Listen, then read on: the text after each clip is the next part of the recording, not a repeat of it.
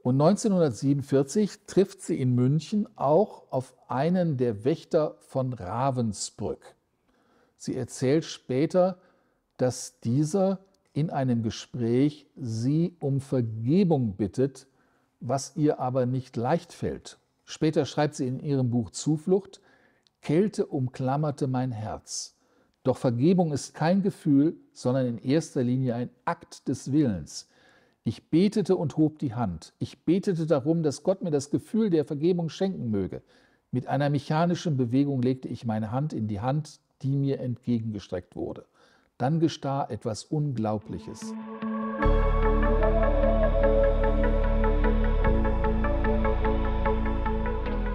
Hallo und herzlich willkommen bei der Serie Meisterpredigt bei Glauben Denken. Mein Name ist Arndt Schnepper und ich unterrichte praktische Theologie an der Theologischen Hochschule Eversbach. In dieser Reihe geht es um Frauen und Männer, die für die Predigtgeschichte von besonderer Bedeutung sind die aber auch Inspiration für die heutige Predigtpraxis bereithalten. Manche Menschen hegen gegenüber Predigten bekanntlich keine großen Erwartungen mehr. Ich möchte daher einen anderen Akzent setzen. Im Idealfall ist es nämlich so, dass Gott selbst mittels der Predigt anfängt zu sprechen.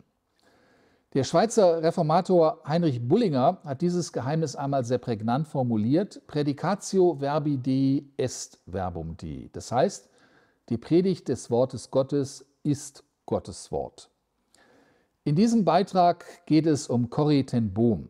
Sie ist im deutschsprachigen Raum sicherlich die bekannteste Person aus den Niederlanden, die wir mit Predigen zusammenbringen. Und das, obwohl ihre Biografie lange Zeit gar keine Hinweise darauf enthielt. Und sie ist vielleicht ebenso in den 1960er und 1970er Jahren eine der bekanntesten Predigerinnen in Nordamerika und Europa überhaupt.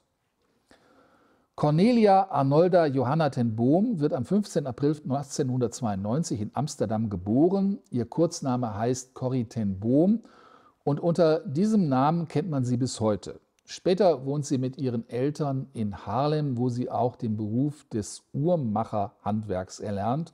1924 ist sie die erste diplomierte Uhrmacherin in den Niederlanden, die in diesem Gewerbe auch arbeitet. Corrie sowie ihre Geschwister und Eltern gehören zu der niederländisch reformierten Kirche und dort gehören sie zu einer Gruppe, die von der Erweckungsbewegung des 19. Jahrhunderts erfasst sind. Das beinhaltet die Wertschätzung der individuellen Bekehrung, das regelmäßige Bibellesen, aber auch die Hochachtung vor dem Judentum als dem ersten Volk Gottes.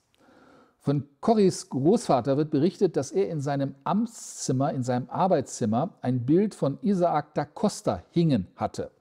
Costa war jüdischer Abstammung und seinerzeit einer der bekanntesten Schriftsteller des Königreichs. Costa wurde Christ, ließ sich taufen und zählte dann zur Erweckungsbewegung dazu. Als Judenchrist übte er einen enormen Einfluss auf die reformierten Christen in den Niederlanden. Im Mai 1940 marschiert dann die deutsche Wehrmacht in das Land ein und in dieser Zeit wird das Haus der Tenbohms zu einer wichtigen Wohnung des niederländischen Widerstands in der Stadt. Regelmäßig kommen hier Mitglieder des Widerstands zusammen, auch verfolgte Juden, und verstecken sich in der Wohnung, um dann später weiterzureisen oder auszureisen. Man nimmt an, dass auf diese Weise die Familie Ten Bohm etwa 800 Juden das Leben gerettet hat. 1971 hat sie dann diese Erfahrungen in ihrem Buch Die Zuflucht, The Hiding Place, The Schrülplatz veröffentlicht. Vier Jahre später wurde das Buch verfilmt. Bis zum 29. August 1942 geht das auch alles ganz gut so, doch dann wird die Familie verraten und enttarnt. Die Gestapo verhaftet alle, die an dem besagten Tag im Haus sind. Corrie, ihre Schwester Betsy, ihren Bruder Willem sowie ihre Schwester Nolly van Wurden und deren Sohn Peter van Wurden und ihr Vater Kaspar. Das Versteck mit den aktuell vier jüdischen Erwachsenen und zwei Widerstandsmitgliedern wird aber nicht entdeckt. Zuerst wird die Familie ins Gefängnis von Scheveningen überführt. Nelly und ihr Sohn werden bald freigelassen, doch der Vater stirbt schon nach zehn Tagen. Die Geschwister verbringen insgesamt mehrere Monate getrennt in verschiedenen Gefängnissen. Dann wird der Bruder Willem in das Konzentrationslager Bergen-Belsen gebracht.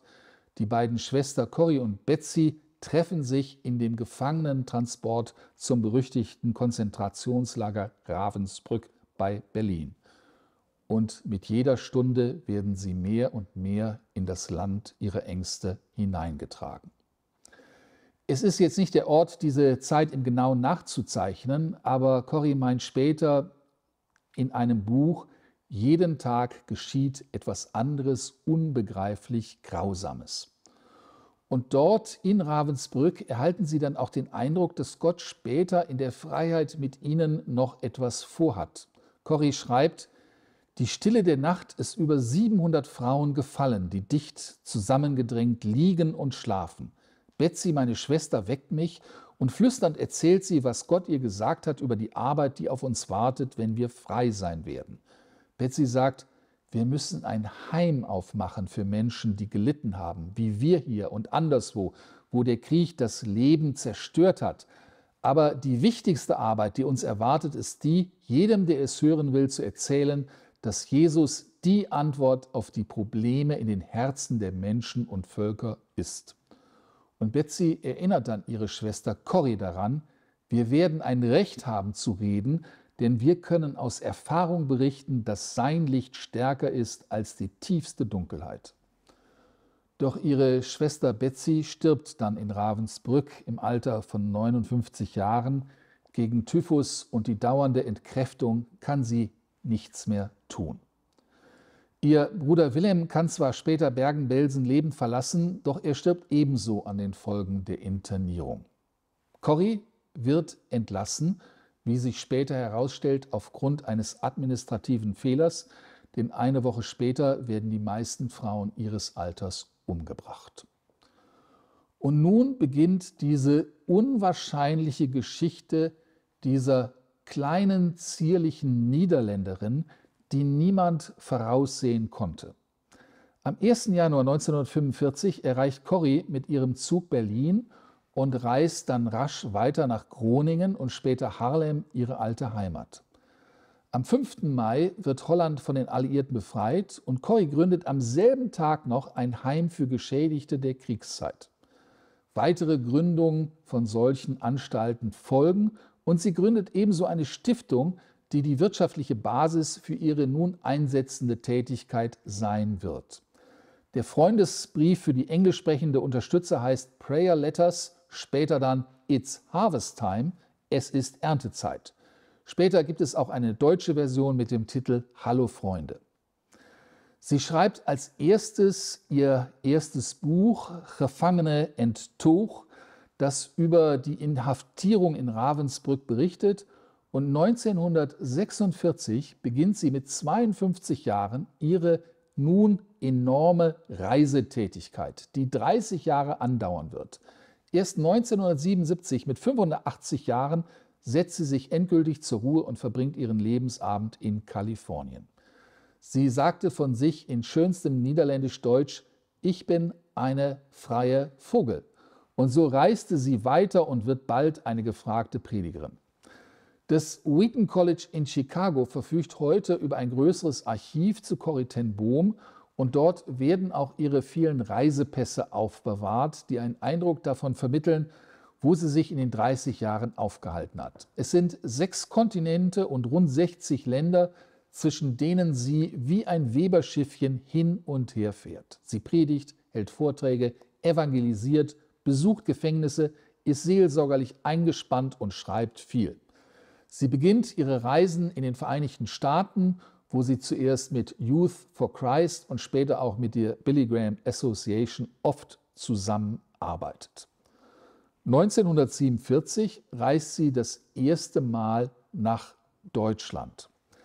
Ein Land, wo sie rasch und gerne aufgenommen wird, Jemand, der als erstes ihr Talent auch für die Schriftstellerei entdeckt, ist der deutsche Verleger Ulrich Brockhaus Und viele ihrer ersten Bücher erscheinen dann auch im Brockhaus Verlag. Und aus diesen Büchern zitiere ich auch Sie, Corrie ten Boom. Sie kommt also aus, nach Deutschland, ein Land, deren Boden sie eigentlich nie mehr betreten wollte. Doch sie gewinnt den Eindruck, dass Gott dort einen Auftrag für sie hat. Älteren Berichten zufolge stellt sie sich in den Kirchen und Gemeinden immer folgendermaßen vor. Ich bin Corrie ten Boom, eine holländische Uhrmacherin mit Ton auf dem A. Sie gewinnt bald viele Freunde und hält dort etliche Vorträge und Bibelstunden. Heute ist es fast vergessen, welche Faszination damals Corrie ten Boom auslöste, vor allem auch in Deutschland. 1963 gibt Ulrich Pazzani ein kleines Büchlein heraus mit dem Titel Evangelium, Aktualität und Kraft. Und in diesem Büchlein lässt er drei seines Erachtens bedeutende Prediger seiner Zeit zu Wort kommen. Das ist der US-Amerikaner Billy Graham, der rheinische Pfarrer Wilhelm Busch und die Niederländerin Corrie ten Boom. Dabei ist es damals schon bekannt, dass Corrie ten Boom eigentlich eine charismatische Christin war. Sie hatte sich weiter, weiterentwickelt, hat damals viele Reisen unternommen, viele Menschen kennengelernt. Im Jahr 1953 erlebt sie eine Taufe mit dem Heiligen Geist. 1959 lässt sie sich im indischen Kalkutta durch Untertauchen in einer Baptistengemeinde auch noch einmal taufen. Und dennoch, viele Menschen mögen sie, damals eine Besonderheit. Man schaute geflissentlich darüber hinweg, weil man sie so sehr verehrte. Und Ehre wurde ihr zuteil. 1967 wird sie für den Einsatz für Juden von der Holocaust-Gedenkstätte Yad Vashem mit dem Ehrentitel Gerechte unter den Völkern ausgezeichnet. Sie wird von der Königin der Niederlande für ihren selbstlosen Einsatz während der Zeit der deutschen Besetzung zum Ritter geschlagen und sie gehört 1974 auch zu den Sprecher und Sprecherinnen des Kongresses für Weltevangelisation in Lausanne. Schauen wir Ihre Predigten heute an, so muss man feststellen, dass sie sehr, sehr einfach gehalten sind und dennoch scheinen sie mehr lesenswert zu sein als manche andere Predigtbücher aus der damaligen Zeit. Die unzähligen Wiederauflagen bis heute drücken das auch so aus. Und es ist die Frage, wie diese Resonanz zu erklären ist. Nun, ich denke, in einem Fall ist es vor allen Dingen der biografische Faktor. Der griechische Philosoph Aristoteles spricht einmal davon, dass es drei wesentliche Überzeugungsmittel gibt, nämlich erstens Logos, die Argumentationskraft, zweitens Pathos, die Fähigkeit, Gefühle zu erwecken und drittens Ethos, also die Persönlichkeit, das Vertrauen, das wir einem Menschen entgegenbringen können. Und es ist dieser dritte Punkt, der Corrie ten Boom so sehr auszeichnet. Im Einsatz für die Verfolgten während der deutschen Besatzung, ihr Leiden im Gefängnis und Konzentrationslager und ihr persönlicher Wunsch nach Versöhnung, das alles weckte damals in den 1950er, 1960er und 70er Jahren großes Interesse und viel Aufmerksamkeit. Die Menschen nahmen sie als eine überzeugende Persönlichkeit wahr. Und 1947 trifft sie in München auch auf einen der Wächter von Ravensbrück. Sie erzählt später, dass dieser in einem Gespräch sie um Vergebung bittet, was ihr aber nicht leicht fällt. Später schreibt sie in ihrem Buch Zuflucht, Kälte umklammerte mein Herz. Doch Vergebung ist kein Gefühl, sondern in erster Linie ein Akt des Willens. Ich betete und hob die Hand. Ich betete darum, dass Gott mir das Gefühl der Vergebung schenken möge. Mit einer mechanischen Bewegung legte ich meine Hand in die Hand die mir entgegengestreckt wurde. Dann gestah etwas Unglaubliches. Ein heißer Strom entsprang in meiner Schulter, er lief meinen Arm entlang und sprang über in unsere beiden Hände. Mein ganzes Sein wurde von dieser heilenden Wärme durchflutet. Ich hatte plötzlich Tränen in den Augen und konnte sagen, ich vergebe dir. Solche Bekenntnisse machten Eindruck und verfehlten ihr Ziel nicht. Auch der Umstand, dass sie gegenüber Deutschland und den Deutschen überhaupt gar keine Zurückhaltung mehr an den Tag legte, das imponierte den Menschen und öffnete Fenster für sie. Es war die, so denke ich, Erfüllung der Ahnung ihrer Schwester Betsy in Ravensbrück. Wir werden ein Recht haben zu reden, denn wir können aus Erfahrung berichten, dass sein Licht stärker ist als die tiefste Dunkelheit. Ein weiterer typischer Punkt von Tim Bohm war, was ich einmal die Unmittelbarkeit des Glaubens bezeichnen möchte. Peter Strauch, der ehemalige Präses der Freien Evangelischen Gemeinden und langjähriger Vorsitzender der Evangelischen Allianz in Deutschland, spricht davon. In einem Beitrag der Zeitschrift Aufatmen schilderte er das so, dass Carol ten Boom für ihn zwar keine neuen theologischen Erkenntnisse vermittelt habe, aber sie machte für ihn erfahrbar, was der Hebräerbrief von Moses sagt. Er hielt sich an den, den er nicht sah, als sähe er ihn. Peter Strauch wörtlich, oft wenn ich in der Gefahr stand, dass mein Glaube wirklich, unwirklich, theoretisch und nichtssagend wurde, half mir das Zeugnis von Corrie Bohm wieder ins konkrete geistliche Leben zurück. Durch sie entdeckte ich die unmittelbare Vertrautheit mit Jesus, nach der ich mich so sehr sehnte, sie prägte meinen Umgang mit ihm. Und das ist es wohl auch gewesen. Corrie Bohm verkörperte den christlichen Glauben derart ehrlich und einfach und so gewinnend, dass das für viele Menschen ausgesprochen faszinierend war. Sie erzählt einmal, dass sie auf einem Schiff sich befand, auf dem auch ein Radarapparat an Bord war. Es war dicker Nebel, so dick, dass man das Wasser um sich herum nicht sehen konnte, aber auf dem Glase des Radars war ein Lichtstreifen, der anzeigte, dass ein Schiff nicht weit entfernt war. Und Corrie Boom schreibt, der Radarapparat sah durch den Nebel hindurch, während unsere Augen versagten. Ebenso ist es mit dem Glauben. Er erkennt die Wirklichkeit Gottes, wo unsere Vernunft nichts zu erkennen vermag. Bei so viel persönlichem Charisma meint man vielleicht, dass ein Feilen an den eigenen homiletischen und rhetorischen Fähigkeiten nicht notwendig sei. Corrie ten Bohm sah das anders. Sie berichtet davon, dass sie immer Videobänder und Vorträge bei sich zu Hause aufbewahrte, um sie sich anzuschauen und auch daraus zu lernen. Sie schreibt, dass sie sich dann Notizen davon macht, etwa wie diese Botschaft war nicht aussagekräftig genug oder ich habe den Rettungsweg nicht klar genug gezeigt oder ich habe diesmal zu viel aus meinem Konzept vorgelesen oder das ist hier viel zu lang wie sie also lernte, sich eigene Sachen anzusehen, eigene Videobänder, um daraus zu lernen. Ich habe den Eindruck, dass das etwa auch an Paulus in seinem Brief an Timotheus erinnert, die Gabe, die man von Gott geschenkt bekommt, nicht außer Acht zu lassen. Das Charisma erübrigt nicht die Übung, beides gehört so dazu. Die frühere Lektorin des Brockhaus Verlages, Elisabeth Wetter, schreibt einmal, dass das Besondere, die große Gabe von Corrie Bohm die gewesen sei, geistliche Wahrheiten in verstehbare Bilder umzusetzen. Und von solchen Bildern gibt es bei ihr tatsächlich eine ganze Menge. Ein solches Bild gebrauchte sie, gebrauchte sie etwa 1974 auf dem Lausanner Kongress für Weltmission. Dort erzählte sie die Geschichte vom Specht, der während eines Gewitters mit seinem Schnabel nach Art der Spechte an den Baum hämmert. Plötzlich schlägt der Blitz ein und spaltet den Stamm. Daraufhin flattert der kleine Vogel aufgeregt durch den Wald, laut rufend, ich wusste ja gar nicht, welche Kraft ich in meinem Schnabel habe. Für Corrie ein Beispiel unseres Verhaltens. Wenn Gottes Geist uns gebraucht, buchen wir es oft auf unser eigenes Konto, sagte sie.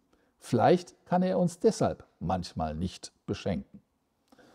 Ein sehr bekanntes und berühmtes Bild von ihr ist ebenso auch das Geheimnis des Teppichs aus ihrem Buch Gefangene Enttuch auf Deutsch dennoch von 1946. Dort erzählt sie, wie sie mit ihrer Schwester Betsy in Ravensbrück, Ravensbrück im Bett liegt. Wenige Augenblicke später gehen wir schlafen. Betsy und ich liegen nebeneinander in unseren engen Betten Ich schlafe nicht, aber Ruhe und Frieden senken sich in mein Herz. Und ich weiß, dass der Herr sie mir geschenkt hat. Gott irrt sich niemals. Und nun kommt das bekannte Bild. Das Leben und Sterben um uns herum erscheint uns oft wie ein düsterer Teppich mit furchterregenden, sinnlosen Muster. Das ist aber nur die untere Seite, die wir mit unseren erdgebundenen Augen zu erblicken vermögen. Einst werden wir auch die obere Seite sehen dürfen, dann werden wir ob des unfassbaren Wunders staunen und Gott dafür danken. Corrie hat später auf ihren Reisen auch manchmal einen kleinen handgewebten Teppich in ihrer Tasche mitgeführt. Es wurde eines der ganz großen Bilder, die sie immer und immer wieder auch gebrauchte. Es gibt auch das andere Bild von ihr, wie sie Haushalterschaft beschreibt, im Englischen Stewardship. Und sie sagt dort in ihrer Beschreibung, dass dieses Bild auch das Leben auf einem großen Schiff beinhaltet, das Leben des Stewards.